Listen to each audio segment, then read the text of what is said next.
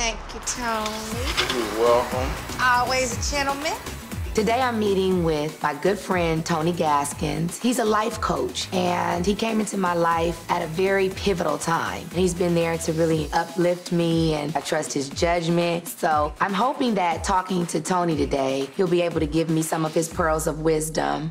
What's going on with you? How the kids doing? They're fine. Yeah.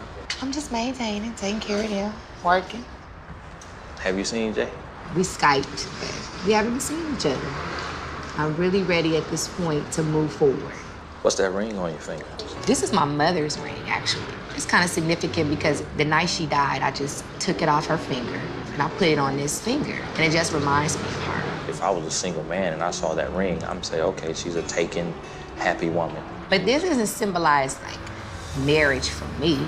But it symbolizes that for a man that's looking at you. And so I know that somewhere inside of you, you hope that he can turn it around and that y'all will be back together. In my heart, I felt like, you know, I had love. It's just that the person that I'm with has a lot of challenges, and I'm not perfect, so you think that you're gonna grow together as a couple, you're gonna come out okay.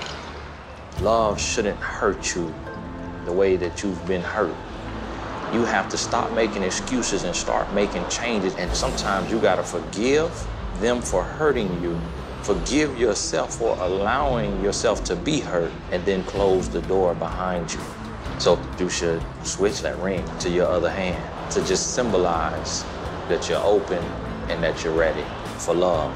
It was really enlightening to hear these things that he said. I can clearly see the patterns that I've really created for myself and can take responsibility for staying too long. I think that that's very beneficial in moving forward.